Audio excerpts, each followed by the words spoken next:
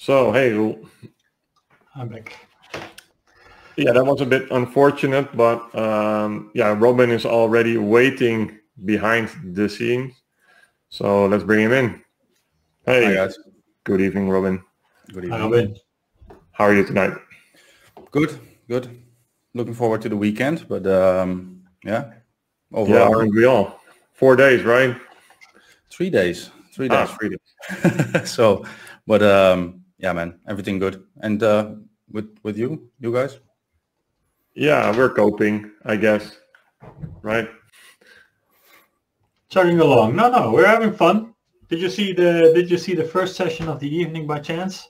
Yeah, yeah, yeah, yeah. I did. That one, I'm still processing that one, I think. And uh, and of course, the the the the second session was a bit of a uh, of an unlucky one, but still there was some good stuff in there. So I'm still having fun.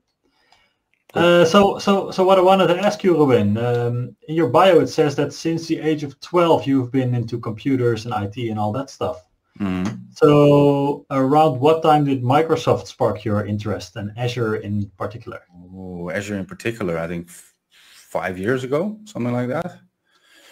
So I started with uh, Office 365 and automatically uh, I um, um, stumbled upon Azure AD, of course. Um, and uh, yeah, from there, from there on, I just moved more towards Azure. And um, now I'm at the point I'm just doing Azure and no Office 365 anymore. So uh, yeah, Yeah, that's also good news for you, right? yeah, So yeah, you're tonight you're going to do a session um, called the Azure Bakery, Mhm. uh, I think, which is based on your blog series, right? yeah, correct. Um, well, we are looking forward to your talk uh, where you can explain it in in real life. Um, will you also link to your blog series somewhere? Yeah. Yeah, at the end, uh, one of the last slides includes like a shortened URL, a tiny URL to uh, to the blog series. And otherwise, uh, everyone uh, who already wants to start reading can just search for the Azure Bakery, and then uh, you, know, you'll, you will find it. it's a catchy title. There's probably no one else that has it. So um, yeah, if you're ready, um, let's go. All right, let me uh, figure this one out. Share my screen. So, do you guys? Okay, yeah, okay, this works. All right, good. Then let me do this. Do you guys see my presentation?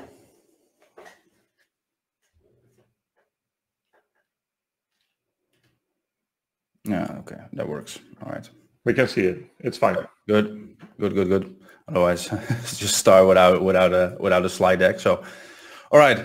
Um, yeah, welcome to the Azure Bakery. Uh, my name is Robin. Obviously, just talked about that.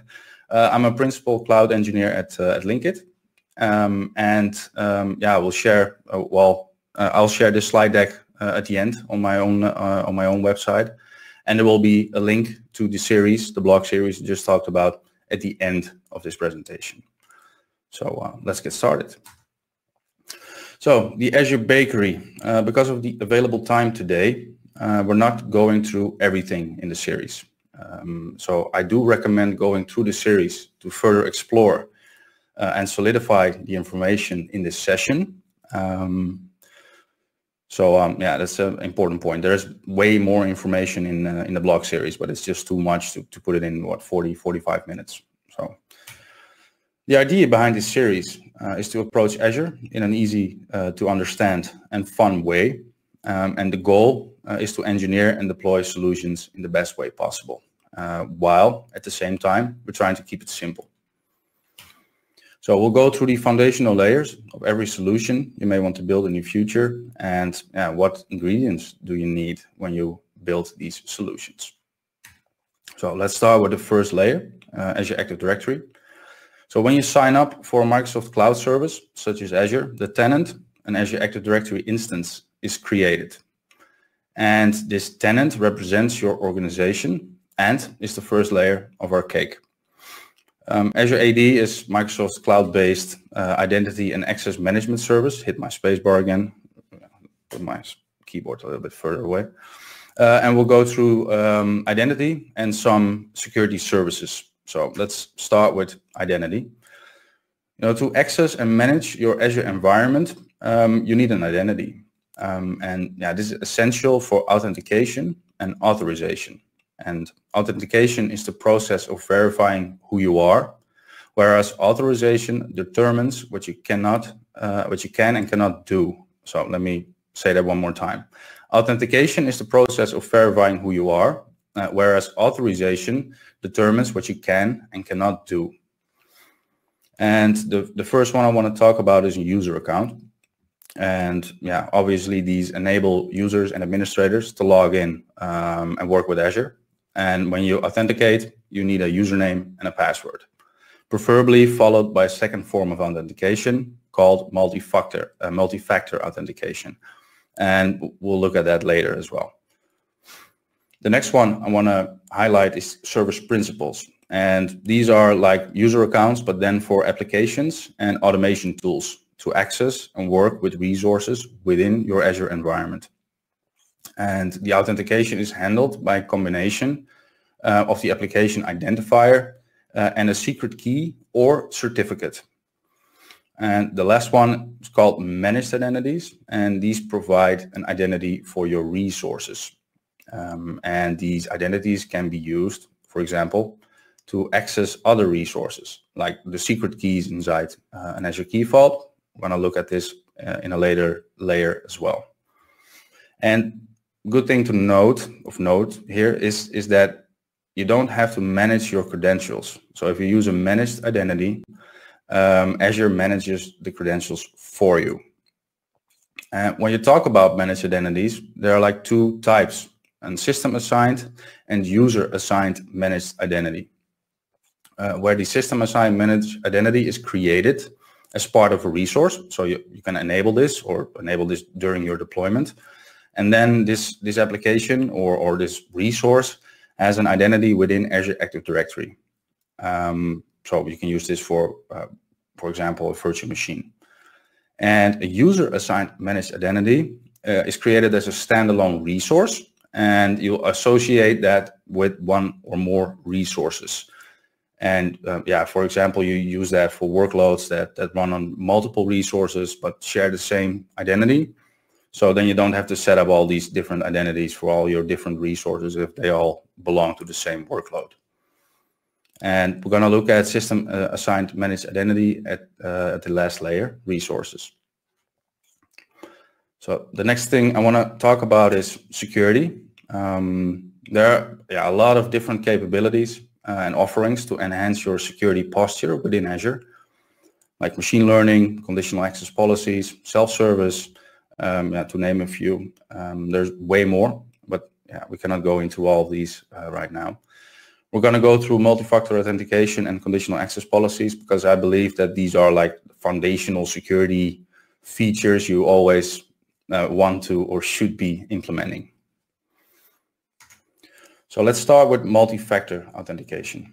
Right, this service adds a second form of authentication to the user's sign-in process.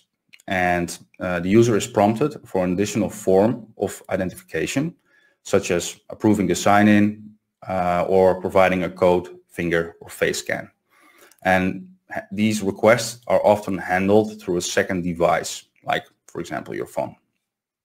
And when you only use a password to authenticate, you leave an insecure attack vector, like uh, something you have versus something you know, or something you, you know versus something you have.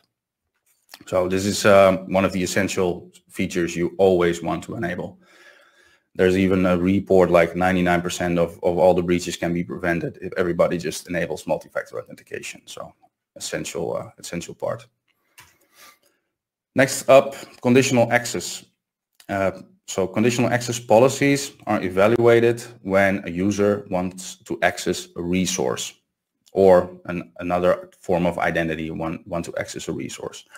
And with conditional access, you bring signals together. So you see that in the, in the image on the left side here, you see these signals here.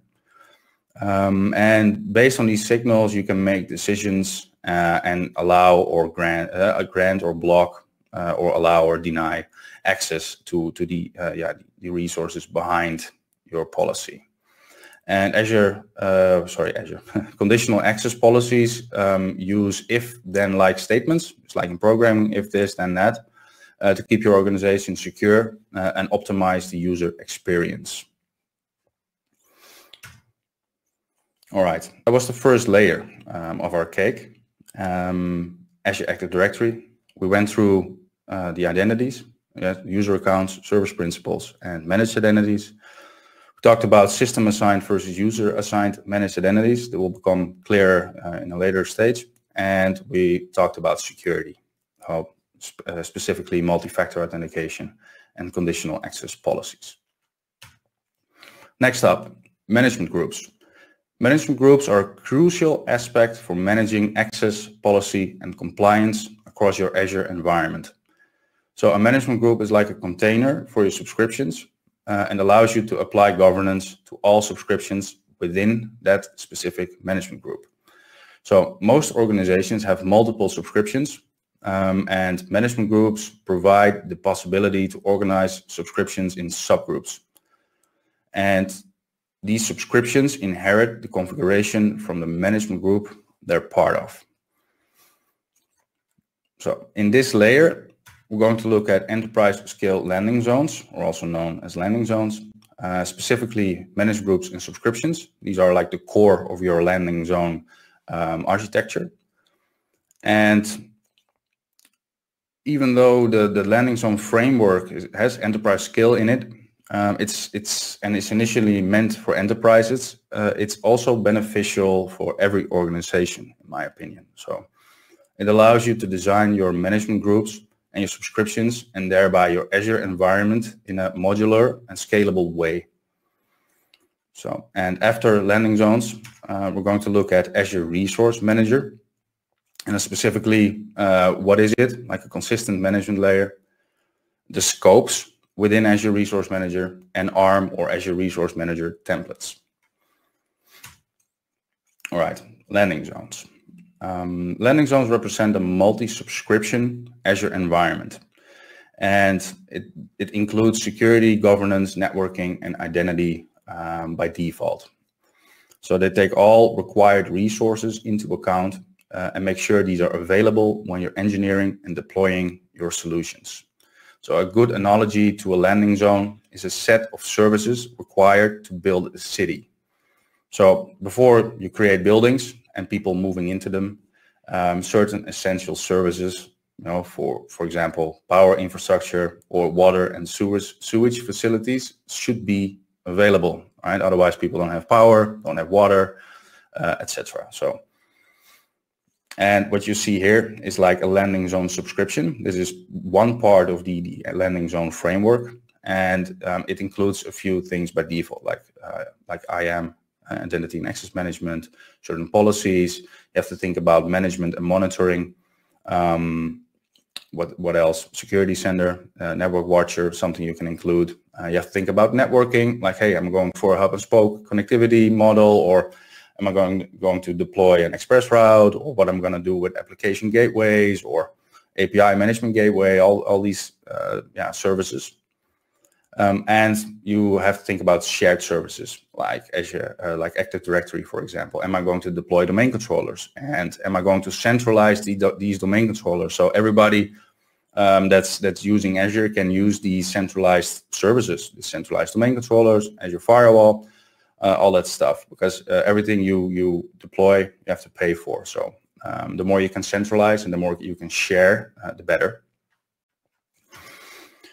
so what does it look like that the enterprise scale landing zone framework right at the heart of your um, landing zone environment you have the organization of management groups and subscriptions so that's that's here and the, the landing zone subscription we just looked at in the previous slide, that's this one. But there are also other things to consider. Okay, what I'm going to do with management. Am I going to centralize my logging? Am I going to do something where with a SIEM solution, Azure Sentinel, for example? Or um, so it gives you like a framework uh, for for brainstorming. Like, hey, what what do I have to think about? Right, the well-architected framework, cloud adoption framework. All these tools can help you uh, design yeah, a robust and scalable Azure environment that's secure by design, governed, etc. So, and at the heart of your enterprise scale landing zone, um, you have like management groups and subscriptions. And the first level um, in, in your organization is always the tenant root group. That's the one here. And it's built in, so you cannot do anything with it. You can rename it, but that's not best practice. So just leave it like it is. Uh, and it allows you to apply governance um, at the directory level.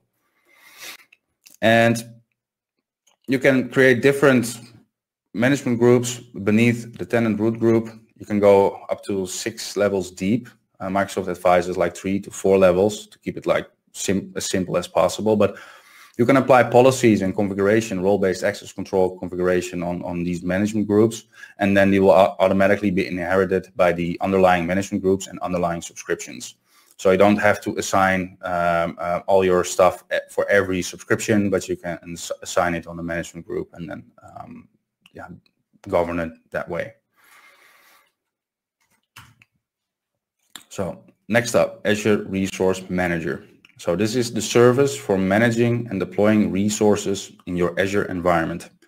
ARM enables you to manage your resources by using the available tools like the Azure Portal, Azure PowerShell, Azure CLI, or uh, yeah, REST clients to talk directly to the REST API endpoint, Graph API.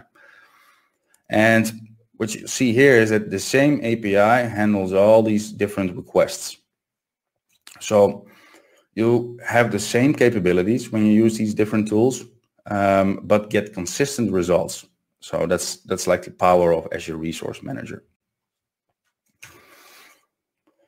When you look at Azure Resource Manager, you have four levels or scopes.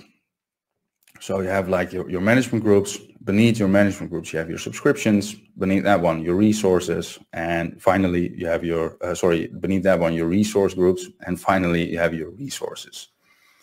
And um, like I mentioned before, the underlying levels inherit the settings or the configuration. So when you assign a policy on the subscription, here this one, then these resource groups will inherit uh, yeah, the configuration and the resources beneath uh, beneath that or the, the that are part of these resource groups uh, inherit the, the configuration as well.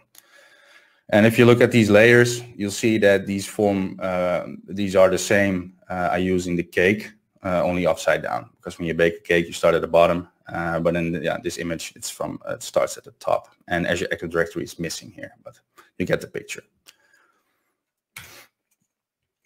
Next up, Azure Resource Manager templates. Um, they allow you to implement infrastructure as code for your solutions. And infrastructure as code has several benefits. Uh, so um, it lowers the potential for human errors. Um, you can create identical environments by using the same template multiple times. Um, and you can reduce costs by creating test environments on demand. So you need, you need a certain test environment you just deploy that based on the same code you use in production. So if you like a, a, a consistent environments, right? And then uh, when you're done testing or you're done deploying that specific stage, um, then you just yeah, remove or destroy the environment. So and then at that point, you don't have any costs for your test environment anymore.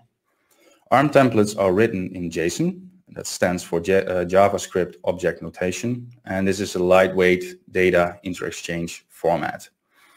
And JSON is easy for humans to read and write. Not everybody agrees. Um, and easy for systems to parse and generate. Um, and you'll see JSON is, is, being used in a lot of different tools and, and, and things, but uh, as well in ARM templates. And yeah, it's it's a steep learning curve, but eventually you'll get it and, and you will you will see or, or harness the power of these ARM templates. And again, working with ARM templates give you repeatable uh, repeatable results. So you're able to deploy the same resources in the same way. And they allow you to automate your resources deployment by integrating them with your favorite CI/CD tooling. All right, another layer done. So we looked at management groups, um, enterprise scale landing zones, um, and Azure Resource Manager. Next up, subscriptions. So um, subscriptions in their simplest are like containers for your resource groups and eventually resources. Um, so when you deploy and use resources, the costs for the resources are built to your subscription. So the, your subscription is like the agreement with Microsoft and allows you to use their platform and their services. Subscriptions are mandatory when you want to deploy resources. So without subscriptions, you cannot deploy them. This is not possible. In this layer, um, we're going to look at specific design uh, strategies and cost management because um, every organization is different. So you have different design strategies and management groups and subscriptions like you already saw in, in landing zones uh, are flexible. So you can just yeah, create whatever you need or whatever you want. And there are many, yeah, multiple design strategies. So we're going to look at three of them. Um, and yeah, cost management because Azure enables you to uh, build and deploy solutions that yeah, leverage the cloud's power. Like you have basically unlimited resources um, you can use or you can leverage. Um, but eventually you're paying for the resources and services you use. So therefore, it's crucial to manage your costs. All right, design strategies. The first one, workload separation. Um, I think this is the most straightforward approach. So you have like two management groups, uh, one for production and one for pre-production.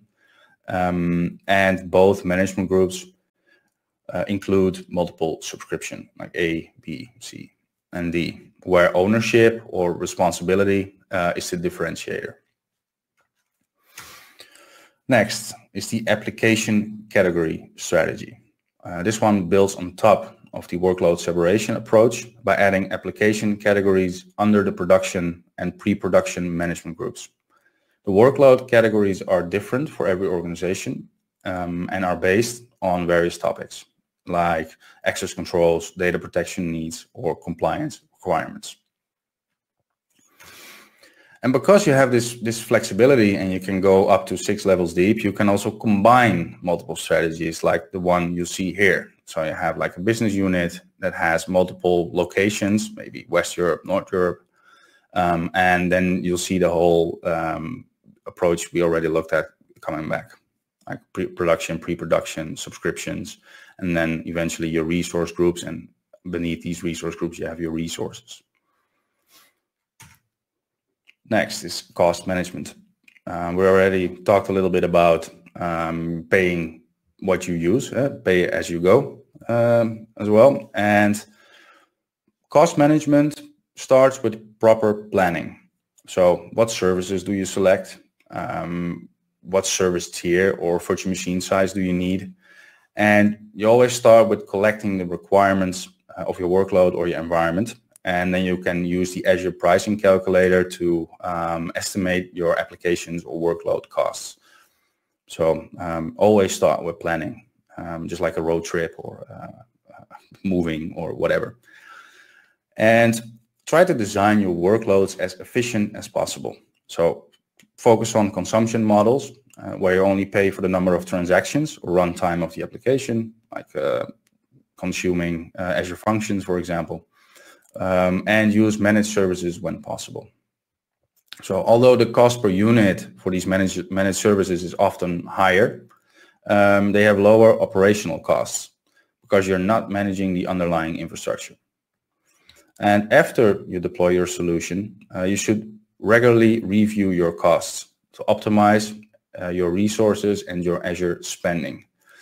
So Azure Cost Management um, shows you where your money is going and is integrated with Azure Advisor uh, that advises you on underutilized resources. Um, so before you start using uh, resources and start consuming um, uh, yeah, Azure resources and, and paying for it, I think it's a good practice to set up some uh, budgets, so budgets, spending quotas, and configure some alerts so that if somebody does something stupid um, somewhere, deploys a really ridiculous sized virtual machine without know, yeah, knowing what they're doing, then before you know it, you get an alert, alert and you can do something about it because you're not going, you will not be the first one to, to spend like a year's salary on, uh, on um, a misconfiguration within Azure. So um, really important. And setting up these budgets and quotas support organizational accountability. So are we staying with our within our budgets? Is specific departments staying within their budgets, uh, etc. So, all right. So we looked at subscriptions, specifically at uh, design strategies and cost management. Next up, resource groups. So um, resource groups are containers, again, for resources this time, and they give you a way to group them. So resources in a resource group share the same life cycle and can only exist in one resource group at a time. So you can move, add, or remove resources at any time. Some resources are easier to move than others, but um, it is possible. And when you create a resource group, you need to provide a location, uh, also known as a region. And because the resource group contains metadata about your resources, it's important that you specify the right location because this can be essential for compliancy reasons. And good thing to note, if you remove a resource group, you remove all the resources that are inside that group. So beware when you remove something. In this layer, we're gonna we're going to look specifically at regions. So a region is a set of data centers to ensure high availability. Um, and we're going to look at naming convention. So um, naming convention scopes, like naming scopes. Certain resources has to be unique, for example. Um, and we're going to look at naming convention components. Oh, it's really important to have a good um, and solid naming convention um, because um, yeah, you want to know which resources are which and uh, etc. So you want to want want to be able to identify your resources. So that's really important. And um, you cannot rename your resources after you deploy them. So it's it's really good to think uh, think about that beforehand. All right, first thing we're going to look at is regions. So um, as you see here in this slide, uh, Azure is a global cloud service platform and it comprises um, basically out of two key components. The physical infrastructure, like the data centers, um, and the global network. So the physical infrastructure consists roughly about 160 data centers divided across 54 regions, and they're all connected to the Azure Global Network. Uh, maybe there are more regions right now. Uh, can be this one is already outdated. Um, and a region is a set of data centers uh, to ensure, uh, ensure high availability. So each region has a pair. Um, and this pair is another region, preferably located at least 300 miles or 482 kilometers apart, um, which is sometimes impossible. But most of the pairs are directly connected. So this is really important. Um, and it's recommended to utilize a regional pair uh, when you're replicating data uh, or building and deploying multi-regional workloads that um, uh, require uh, extreme high availability, extreme availability. So, um, and for example, the regional pair for West Europe is North Europe. Most people in Europe know that, but um, so every region has a pair. East US, Central US, I think, or um, so. Uh, and all this information is available on uh, on the document in, inside the documentation. So naming scopes. Um, certain resources are uh, by default available uh, available um, through the internet and they are also accessible using a DNS name. So certain resources uh, have to have a global unique name. Sometimes this can be challenging because most of the obvious names, just like domain names, are already taken. So you have to be a little bit creative there. And next one is resource group. So then the, the name should be unique within the resource group. And the last one is resource attribute. Uh, and then the resource attribute name should be uh, unique within the parent resource, like uh, mentioned here, a subnet within a virtual network. So you cannot deploy a subnet with, with the same name inside the same virtual network. When you look at a naming convention and you look at what Microsoft advises, um, then they start with this image here. So they start with a resource type and they end with an instance number. And there are recommended naming components, uh, abbreviations per resource type, and limits to take into account. And uh, I will take you through these recommendations from left to right and my take on this. So if we look at resource type, uh, this abbreviation represents, uh, represents the resource type and is used as a prefix uh, or suffix. So prefix is at the beginning, um, or suffix is at the end. Depends on your your organizational standards or what do you, what you prefer, and it has to do with sorting and all that stuff.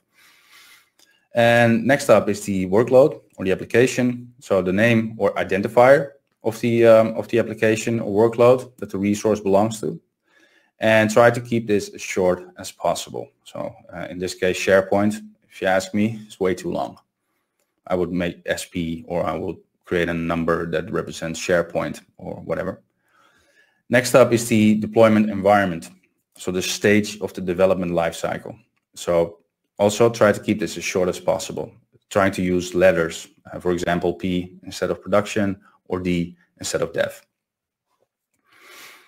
And then you'll end up with a region. Um, and just like we talked about before, um, this is this is the geographical location where your resource is deployed. And my take on this is only using it when you're utilizing multiple regions. So don't use this when you're only deploying resources within one region. And even then, maybe only for network resources.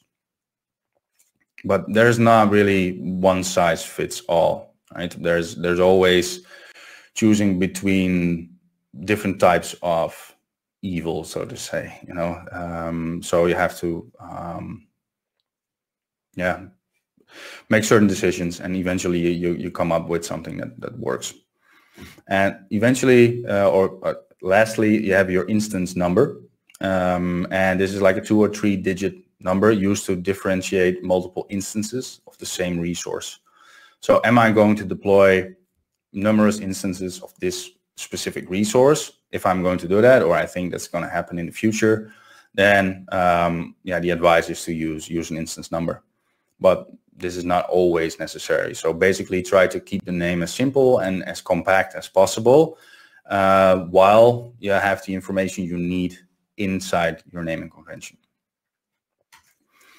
So we looked at regions, uh, sorry, resource groups, and specifically at regions uh, and naming convention components and naming convention scopes. So the last layer, resources. So we're going to add resources on top uh, of all the previous layers. Uh, and with these resources, um, yeah, the, the cake really comes together. So we're going to look at the design recipe. So, hey, what, what is it we're going to add? Uh, what, what are these resources um, looking like? And eventually we're going to bake them. So uh, that's the part I already did. Um, so I already deployed uh, the resources we're going to take a look at inside my own Azure environment because I don't want to do the deployment while I'm presenting uh, for obvious reasons. So, all right. Um, the environment's design recipe is based on the enterprise scale landing zone architecture framework, like you can see here. And the management subscription contains a log analytics workspace for centralizing the logs, metrics, and audit data. You can see here. And the landing zone subscription, that's this one, includes the web application um, based on an app service app with an Azure SQL database as a backend. And the app service app uh, uses a system assigned managed identity, there he is, uh, to access and retrieve the Azure SQL service connection string from an Azure Key Vault.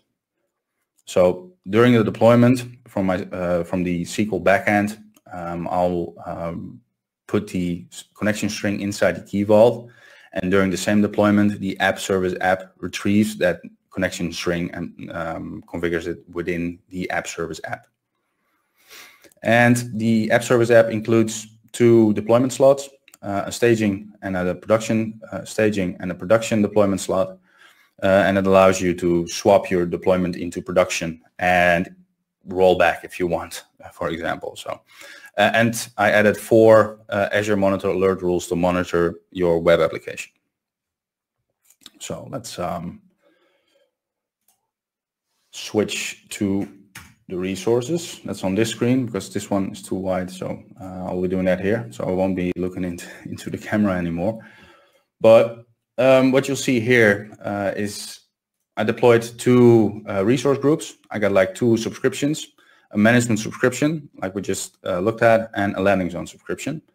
And these are part of the management group structure I configured. So I got a landing zone management group here, the corporation in here, and then the landing zone subscription itself. And if I look at the platform, I've got a platform management group uh, with a management management group.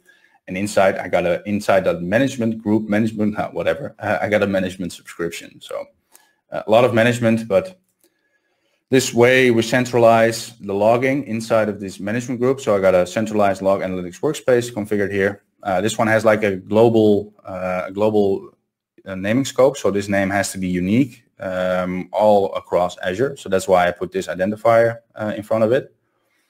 And the application is deployed in the application resource group. And um, all these different resources are configured to log uh, log their uh, audit data, the metrics, and their logs to the log analytics workspace. And if we look at this application, you'll see the app service app, uh, sorry, the app service app plan, and then the app service app itself that's built on top of that plan or that uses uh, the, the, the infrastructure that's part of this app service plan. The staging slot, the production slot is as part of the uh, initial uh, application. And a key vault SQL database, sorry, SQL server, and uh, on top of that SQL server, you have a SQL database. So, and if we look at the app service app, uh, and we go to identity, now you'll see that um, this app has a system assigned identity enabled, has an object object ID uh, inside Azure Active Directory. Every uh, object has an identifier, a unique ID. Uh, and this ID is used inside the key vault. So the key vault has an access policy that uses this ID that gives this application uh, um, permissions to retrieve the connection string from the key vault. So and if we'll go to the configuration here. Come on. All right. And we look at the connection strings. You'll see there's a default connection string that's based on a key vault reference has a type SQL server. And if we go to our key vault and we go to secrets, then you'll see that we uh, can see them because I've added my user as um, uh, to the access policy. Otherwise, I couldn't see the secrets myself. So I can manage the key vault, but I cannot retrieve any secrets. I have to specifically give myself access to do that. Um, and you'll see the application here, the uh, app service app um, that has like get permissions for the secrets inside of this key vault. And if we look at secrets, um, then you'll see three, three secrets here. Uh, the SQL connection string and the SQL admin username and SQL admin password that are um, um, yeah, generated during the deployment. And I'll do this on purpose. So this way uh, you always have your admin username and your admin password and nobody has to write them down anywhere. So they're part of this, this key vault and it's all, uh, all happens during the deployment. So, um, and if we go to the uh, app, for example, and we go to diagnostic settings uh, here, Now you'll see that um, uh, the diagnostic settings are being written to this log analytics workspace. And that goes for all the resources that, that are deployed here. And this whole deployment and design recipe and, and all the stuff we just talked about, you can, uh, can find that uh, here. I will share a link in the next slide or the slide after that to be precise. And this is the last layer, resources where um, we'll go through um, the prerequisites you need, the, the resources we're going we're going to deploy, the design recipe itself, like this one, um, an explanation of what we're deploying, and eventually we're we're baking. So it's just like a tutorial included in here. It links to uh, to to my GitHub. Uh, I don't know if this opens in a new page. No, it doesn't. So everything you need is is, is in here. So if you want to follow along or you want to do this yourself, um, yeah, you got everything you need. Uh, you need here. So, um, and that being said, let's switch back to my presentation. So what's the last layer? Resources. So we looked at the design recipe and uh, the actual baking. So, so um, adding the resources on top of all the underlying layers. So, and if you wanna want to um, yeah take a look at the series, it consists out of six parts, an introduction plus five. Um, this is the the tiny URL that um, will get you to the to the series on Medium, IT Next, uh, part of part of Linkit, and yeah, that was my presentation. Robin, thanks a lot for all of this information. This was quite a bit of quite quite some information to process for me. but there were there were some small bits and pieces. I I had a little hook and I understood something of it. So I have a couple of questions about that. All right. Um, so uh, I think in the Azure Active Directory uh, layer, you talked about MFA and advising to just turn it on, right? Mm-hmm. Um, do you advise on turning it on for everybody at all times, or are there specific uh, situations where you'd want to step up your security? Depends.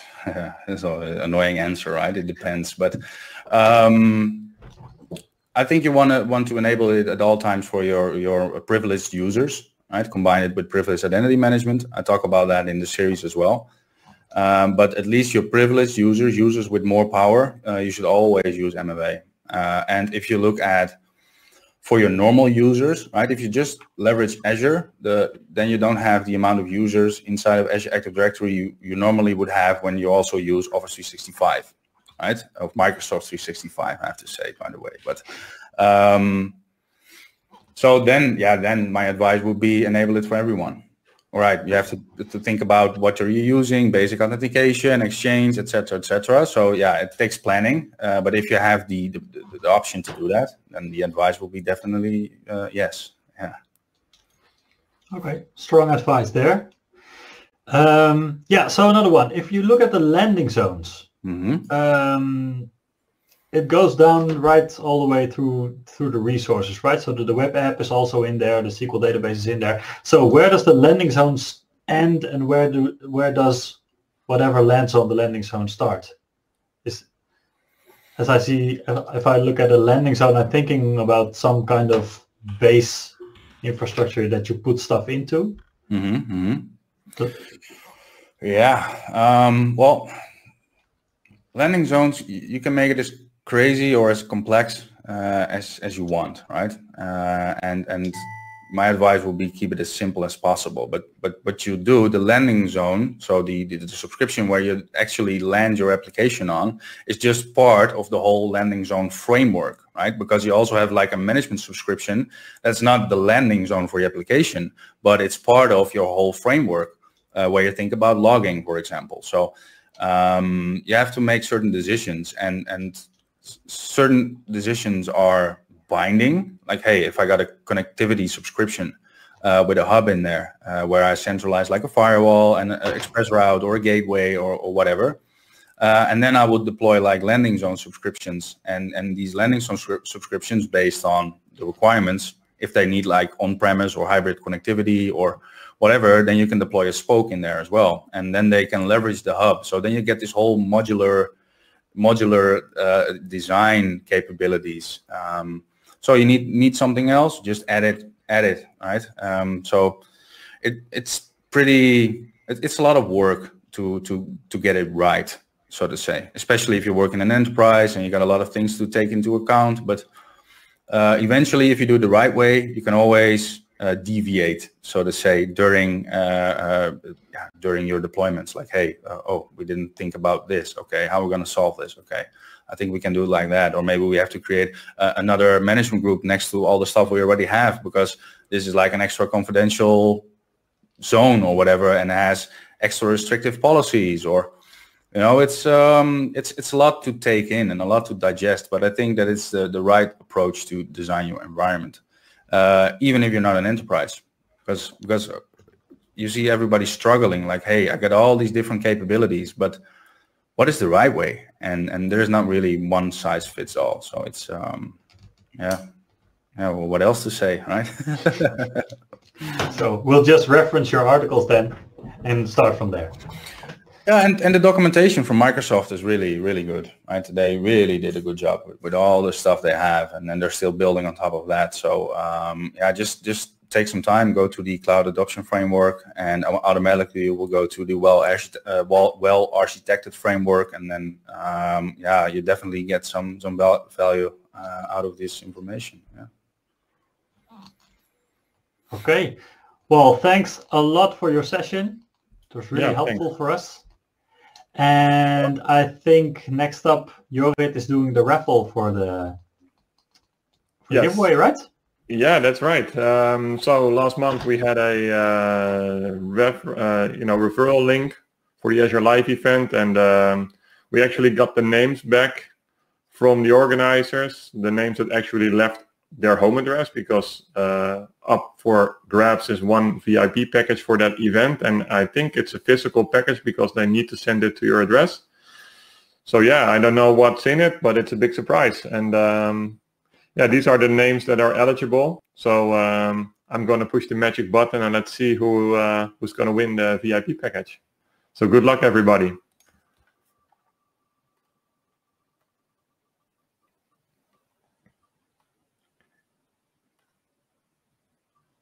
Well, that's really close, but it's it turns out to be Robbie in the end.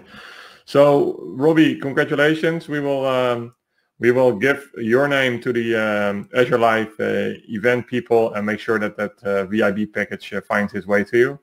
So uh, congrats. And um, yeah, this is the end of the show for tonight. So I hope to see everybody uh, again next month and um, have a great evening.